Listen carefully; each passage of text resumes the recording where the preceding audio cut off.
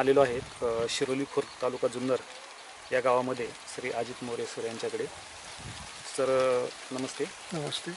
Sir सध्या नारायणगाव येथे चैतन्य कृषी विकास लॅबोरेटरी या ठिकाणी कार्यरत आहेत आणि त्यांनी बी एस सी केलेलं आहे. तर त्यांच्याकडनं आपण माती परीक्षणाबाबत जाणून घेणार आहोत. सर स्वागत आहे तुमचं आमच्या यूट्यूब चॅनलमध्ये नमस्कार. मला सांगा माती परीक्षण म्हणजे नेमकं काय?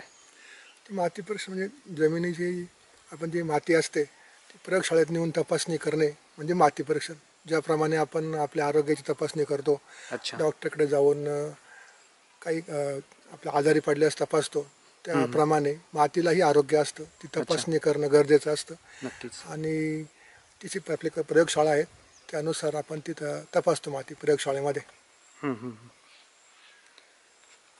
मला सांगा हे का गरजेचं आहे? तर दिवसेंदिवस आपण मातीतून जे आहे उत्पादन घेतो पिकं काढतो. त्यामुळे अच्छा. जमिनीची सुपीकता उत्पादकता कमी होते. आणि त्या प्रत्येक वेळेस ती पुन्हा पूर्ववत होण्यासाठी आपल्याला काही खतांची वगैरे आवश्यकता असते ती देण्यासाठी आपल्याला किती प्रमाणात खतं द्यायची त्यासाठी माती परीक्षण करणं गरजेचं आहे. मला सांगा माती परीक्षणाकरता मातीचा नमुना कशा पद्धतीने घ्यायला हवा? किंवा कोणत्या प्रकारे तो नको घ्यायला याबद्दल थोडी आमच्या दर्शकांना माहिती द्या. आता नमुना घेताना समजा आपला एक प्लॉट असेल तर त्या प्लॉट आपण घेण्यापूर्वी आपलं नाव त्या प्लॉटचा गट नंबर. ते असणारं क्षेत्र याची माहिती एका कागदावर लिहून घ्यावी.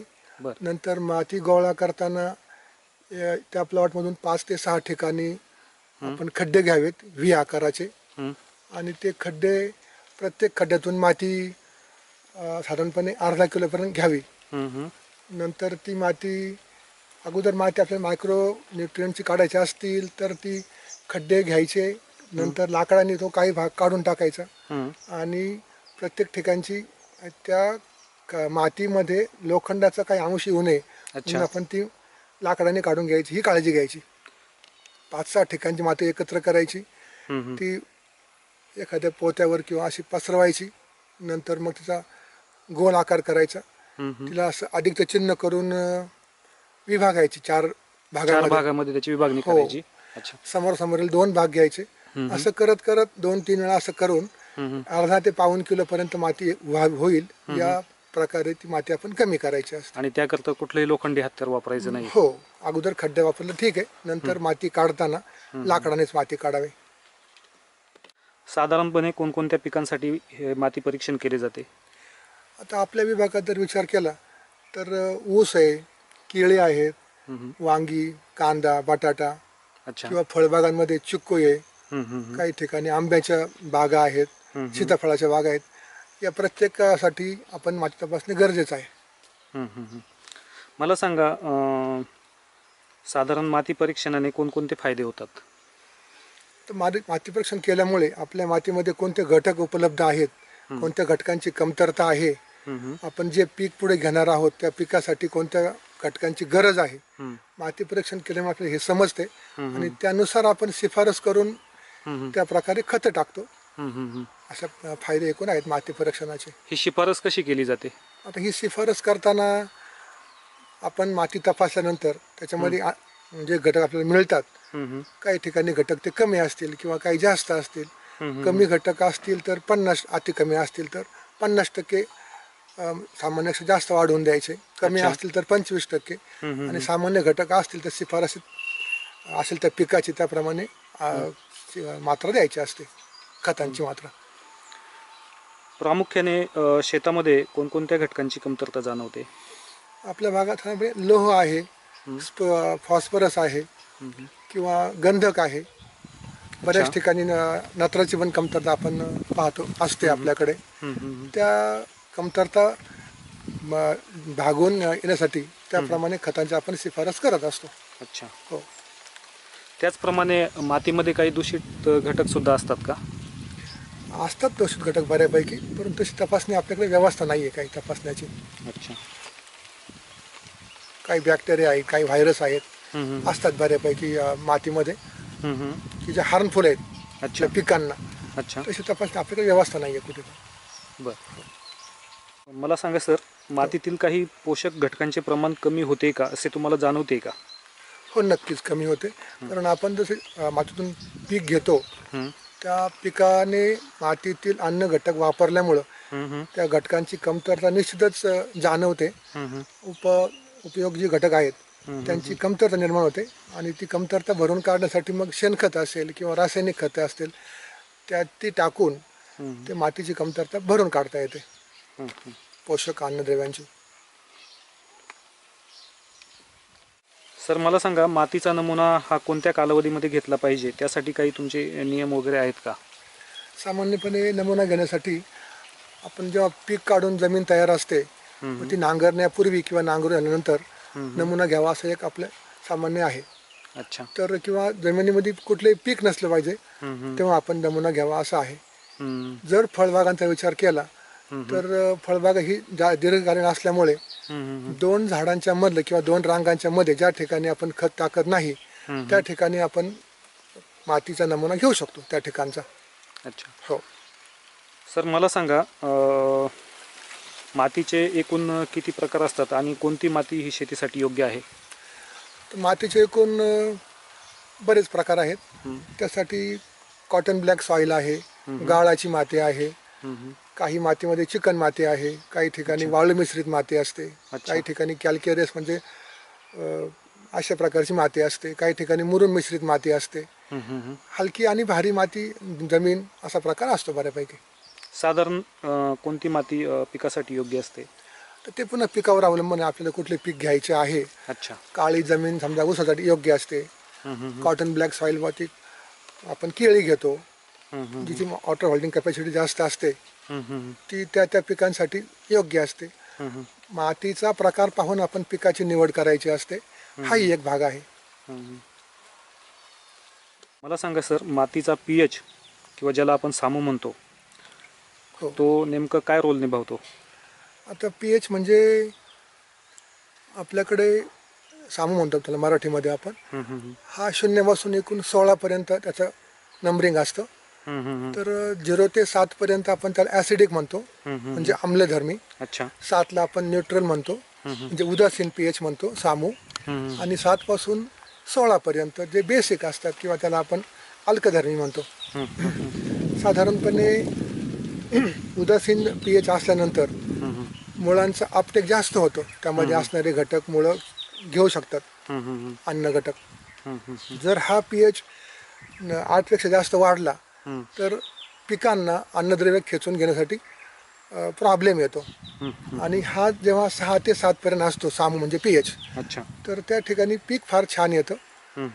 आपल्याकडे जमिनीमध्ये समजा आपल्या आपल्या भागामध्ये आठपासून नऊपर्यंत पी एच असतो. अच्छा. आणि कोकणातील जमिनीमध्ये पी एच सात सहा पाच चार इतका खाली असतो.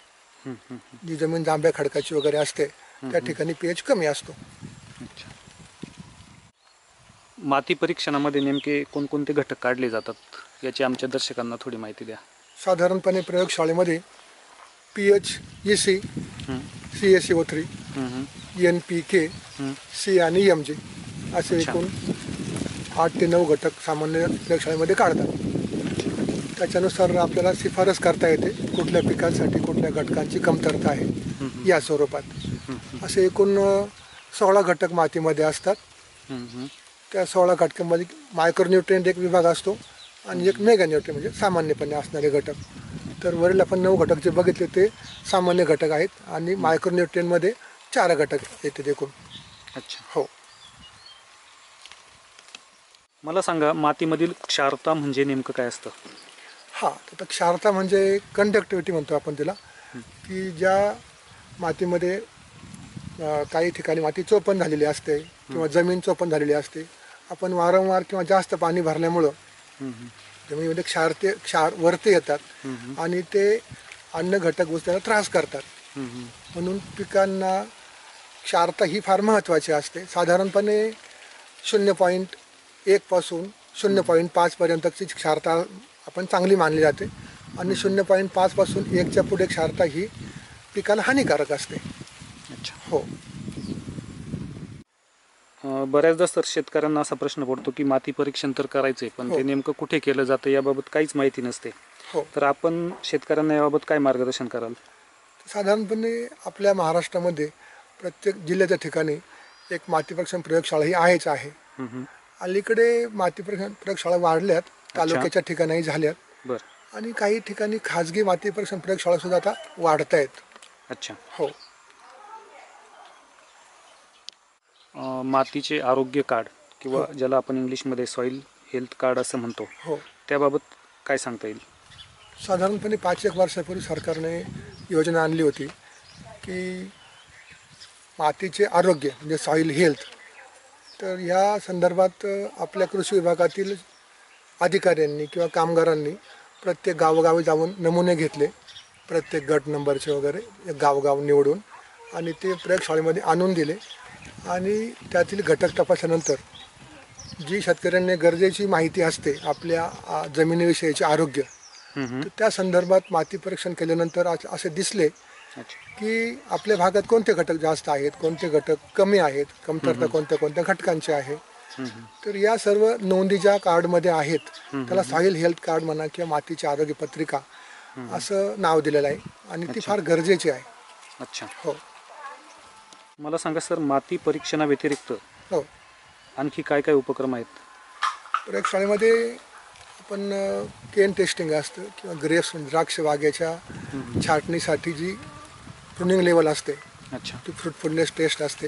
ती मायक्रोस्कोपद्वारे आपण टेस्ट करत असतो. अशी आपल्याकडे व्यवस्था आहे आमच्या माती पर्सेंट प्रयोगशाळेमध्ये. आणि पाणी जे असतं ते पिण्यासाठी असेल किंवा जमिनीसाठी या दोनही प्रकारची पा पाणी तपासणी आमच्या प्रयोगशाळेमध्ये होते. अच्छा. हो. मला सांगा सर माती परीक्षणासाठी शेतकरी खरोखरच जागरूक आहेत का? किंवा त्यांच्याकडनं माती परीक्षणासाठी कसा प्रतिसाद मिळतो? दुर्दैवाने शेतकरी जागृत नाही असंच म्हणायला लागते. आणि ज्याप्रमाणे आपल्याला आपले आरोग्य महत्त्वाचे आहे त्याप्रमाणे लोकांना अजूनही. जमिनीचे आरोग्य किंवा सॉईल टेस्टिंग म्हणजे काय याचे महत्त्व न समजल्यामुळं अजूनही लोक त्या संदर्भात अशिक्षित आहेत आणि स्वतःहून शेतकरी माती परीक्षण घेऊन येतोय असं सहसा होत नाही. काही द्राक्ष बागायतदार किंवा काही डाळिंब बागायतदार मात्र त्याला अपवाद आहेत. ते माती त्या स्वतःहून आणतात. तपासून घेतात. मात्र सामान्य शेतकरी अजूनही जागरूक नाही हे फार मोठं दुर्दैव आहे. म्हणजे ज्या शेतकऱ्याला थोडक्यात माती परीक्षणाचं महत्त्व समजलेलं आहे असे शेतकरी माती परीक्षणासाठी येतात. हो. नक्कीच. मला सांगा सर खरं तर येणाऱ्या पिढीसाठी हो. माती हा आपल्या जीवनातील महत्त्वाचा विषय आहे. हो. तर त्याबाबत मातीचे महत्त्व नेमके तुम्ही कसे सांगाल?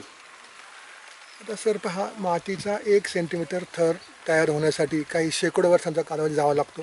म्हणजे माती ही अत्यंत महाग आणि दुर्मिळ अशी गोष्ट आहे. अच्छा. परंतु दुर्दैवाने आपल्याकडे आता सिमेंटची जंगलं वाढत आहेत.